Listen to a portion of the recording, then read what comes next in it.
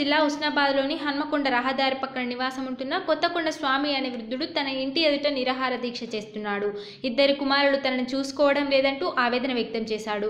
కొత్తకొండ స్వామి భార్య మూడు సంవత్సరాల క్రితం మరణించగా అప్పటి నుండి స్వామి ఒంటరిగానే జీవనాన్ని కొనసాగిస్తున్నాడన్నాడు ఇద్దరు కుమారులకు చెరో రెండు కోట్ల ఆస్తిని పంచి ఇచ్చానని పెద్ద కుమారుడికి అవసరం ఉంటే పది లక్షల అప్పు తీసుకొని వచ్చి ఇచ్చానని అప్పు కట్టమని పెద్ద కుమారుని అడిగితే ఉన్న ఇల్లు తన పేరిట రాసిస్తేనే కడతానని ఇబ్బందులకు గురి చేస్తున్నాడని కొత్తకొండ స్వామి ఆవేదన వ్యక్తం చేశాడు. సంస్కారం పెడతలేడు.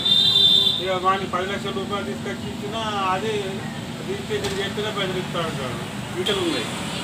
ఇక ఇప్పుడు ఇరవై మూడు లక్షల రూపాయలు వాళ్ళు నేను ఏం చేయాలి? నా పేరు కొత్తకొండ స్వామి.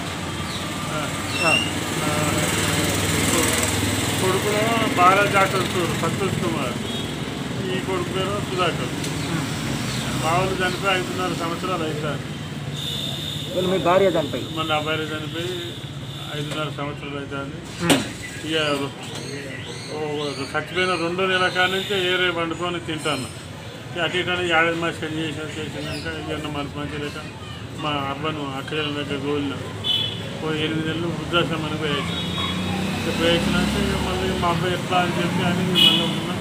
ఓ ఏడాది వరకు మా అబ్బాయి కాలం చేసింది.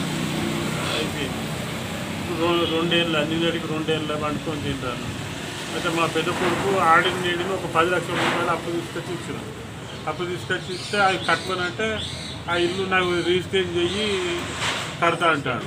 ఆ ఇల్లు రెడ్ మార్క్ పడ్డది ఆయనకు రెడ్ మార్క్ పడ్డా అది రిజిస్ట్రేషన్ అవుతలేదు రెడ్ మార్క్ పడితే నేను చెప్తాకమ్మా నేనేం చేయాలా? అని అది నేను అది అది చెప్తలేడు పైసలు ఇస్తలేడు. నాకు ఇంత సంవత్సరానికి వాణి ఎన్నిక వీని ఎన్నిక ఈ రెండు ఇళ్ళు ఉన్నాయి. ఆ ఏర్పడ్డప్పుడు ఆ ఇండ్ల కిరాయిలు నాకే ఇవ్వాలి అయితే ఆరేళ్ళకు మొన్న చెరి యాభై వేల రూపాయలు ఇచ్చారు అంతే. మ- మళ్ళీ మళ్ళీ ఏడాది అయింది మళ్ళీ ఇవనంటే ఈ చిన్నోడు ఇచ్చాడు కానీ పెద్దోడు ఇస్తలేదు నేను పోయి అప్పులకి వెళ్ళి బయటపడాలి.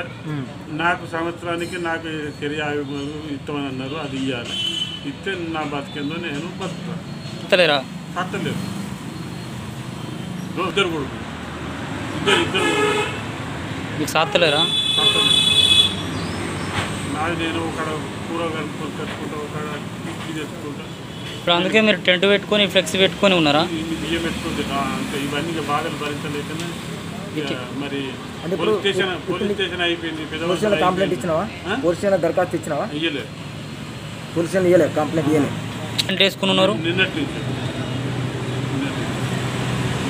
వాళ్ళు అంటూ నేను మా పెద్ద కొడుకులు ఒక్కటే కొడుతున్నాను నన్ను వదిలిపెట్టుకొని కోరుతుంది వాడు నన్ను జాదురద్దు నేను మీ పత్రిక ముఖంగా చెప్తున్నా వాడు నన్ను వదిలిపెడితే నన్ను జాదినట్టు లెక్క.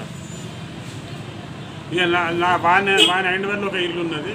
ఇంకా కిరాయి అది నాకైతే కొడుకు సంతోష్ కుమార్ బాలాజీ ఆటో స్టోరు సంతోష్ కుమార్. ఇక కిరాయి నా నాది నాకు సంవత్సరానికి ఇస్తే వాడు నన్ను లెక్క ఇప్పుడు ఈ రెండు క్వశ్చన్ షటర్లు మీ రెండు పోర్షన్ నేను కిరాణా దుకాణంలో బాబా అంగిట్లో తీసుకొచ్చి తయారు చేసి